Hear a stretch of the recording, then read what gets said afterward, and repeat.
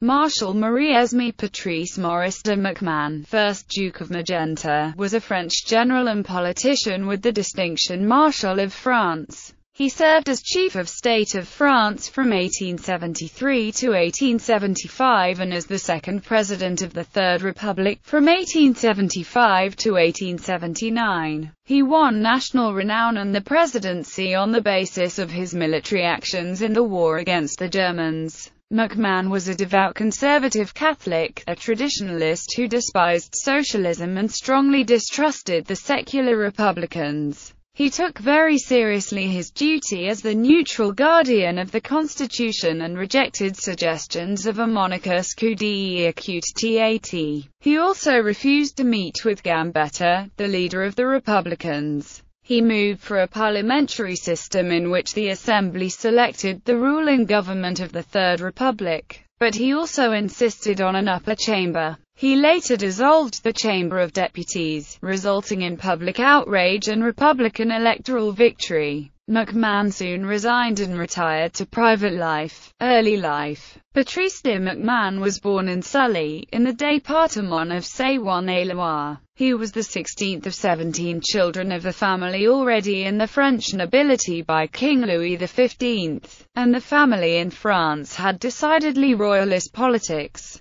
His ancestors were part of the Dál gCais and were lords of Corca Baiscind in Ireland, after losing much of their land in the Cromwellian confiscations. A branch moved to Limerick for a time before settling in France during the reign of King William III because of their support of the deposed King, James II. They applied for French citizenship in 1749. Patrice de MacMahon was educated at the Lycée Louis Le Grand and at the Academy of Saint Cyr, graduating in 1827. Military career He served in the army as aide-de-camp to General Achard, and went to the campaign in Algiers in 1830. He stayed in Algeria from 1834 to 1854, and was wounded during an assault on Constantine in 1837. He became commander of the Foreign Legion in 1843, and was promoted to divisional general in 1852. In the Crimean War, he distinguished himself in the Battle of Malakoff at Sevastopol,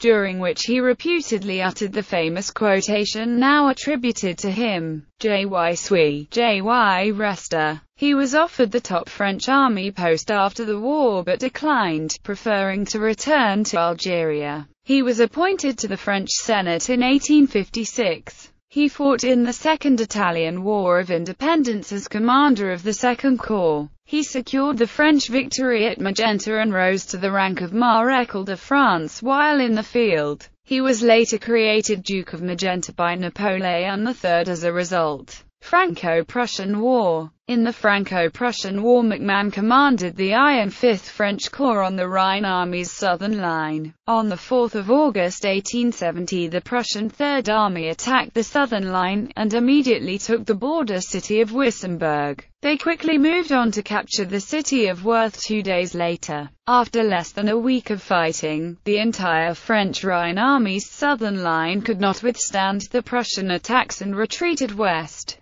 further into French territory. The Prussians were relentless. The Prussian Third Army captured town after town, while the French 1st and 5th Corps hastily retreated southwest to Chalons-sur-Marne, out of the way of the advancing Prussians, while the Prussians drove west. MacMahon led the 120,000-strong remnants of the French Rhine Army, reformed as the Army of Chalons, with Napoleon III. They marched north-northeast from Chalons-sur-Marne, in an attempt to relieve the besieged army at Metz over 130 kilometers to the east but the Prussian Third Army marched 325 kilometers and intercepted the French army along the Meuse River. After three days of fighting, MacMahon's troops fell back to Sedan, where they were encircled, in part due to MacMahon's indecision. MacMahon was wounded on 31 August, and passed command. After the Battle of Sedan, Napoleon III surrendered the main French army on 2 September, and MacMahon was taken prisoner. Paris Commune. France surrendered to the Prussians in January 1871, and formed a new interim government based in Versailles. Radicals in Paris rejected this government and formed the Paris Commune.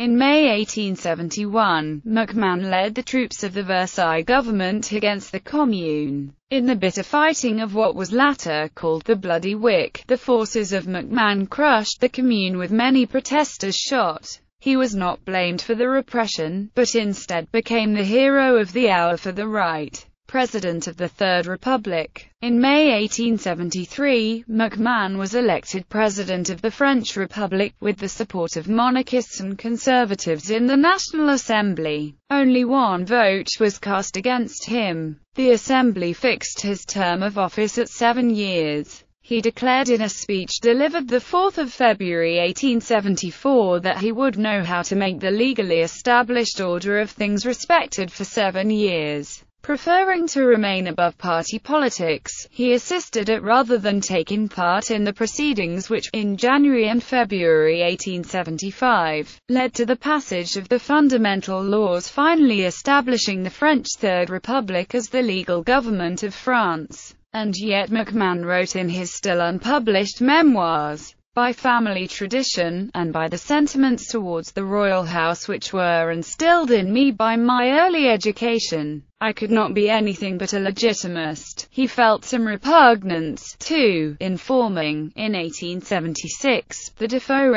and the Jules Simon cabinets, in which the Republican element was represented. German Chancellor Otto von Bismarck sought to contain France and destabilize it, and weaken the right-wing elements that wanted revenge against Germany. Bismarck promoted republicanism thereby strategically and ideologically isolating MacMahon's clerical monarchist supporters. Bismarck's containment policy almost got out of hand in 1875 in the war in sight crisis when the German press reported that some highly influential Germans, alarmed by France's rapid recovery from defeat in 1871 and its rearmaments program, talked of launching a preventive war against France to hold it down. There was a war scare in Germany and France. Britain and Russia made it clear they would not tolerate a preventive war. Bismarck did not want any war, either. But the unexpected crisis forced him to take into account the fear and alarm that his bullying in Germany's fast-growing power was causing among its neighbors. In May 1877, the bishops of Poitiers, Nîmes, and Nevers issued episcopal charges recommending the case of the captive Pope Pius IX to the sympathy of the French government. On 4 May, the left responded with a resolution in the Chamber des députés calling on the government to repress ultramontane manifestations. Twelve days later, MacMahon controversially provoked the 16th of May 1877 crisis by demanding the resignation of Prime Minister Simon, a Republican. Simon resigned, later claiming to avert a coup d'état by MacMahon, who replaced him with the Orleanist de Broglie. He then persuaded the Senate to dissolve the chamber on 16 May 1877. During the next five months, MacMahon traveled through the country campaigning for the Conservatives, protesting at the same time that he did not wish to overturn the Republic. However, the elections of 14 October resulted in a majority of 120 for the left. The de Broglie ministry resigned on 19 November, and MacMahon formed a left cabinet under Dufaure. He retained his office until 1878, so as to allow the Exposition Universal to take place in political peace.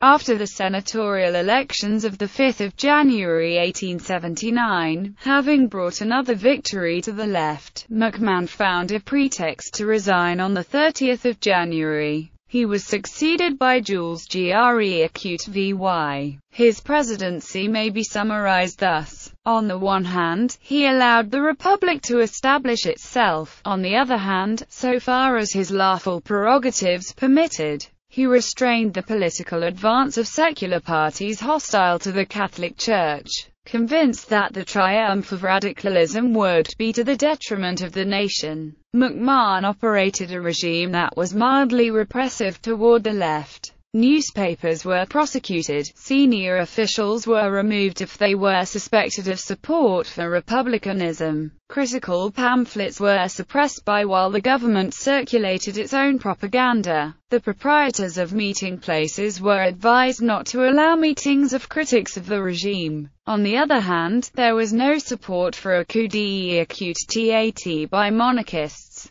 MacMahon truly believed that the Assembly should rule France, not the President. Retirement The last 14 years of his life were spent in retirement, quite removed from political interests. I have remained a soldier, he says in his memoirs, and I can conscientiously say that I have not only served one government after another loyally, but when they fell, have regretted all of them with the single exception of my own. In his voluntary retirement he carried with him the esteem of all parties. Jules Simon, who did not love him, and whom he did not love, afterwards called him a great captain, a great citizen and a righteous man. The Duke died at the Château de la Forest at Montcresson, Loire, in 1893. He was buried, with national honours, in the crypt of Les Invalides quotes, showing his faith in the Foreign Legion during the Battle of Magenta. The Legion is here, it's in the bag.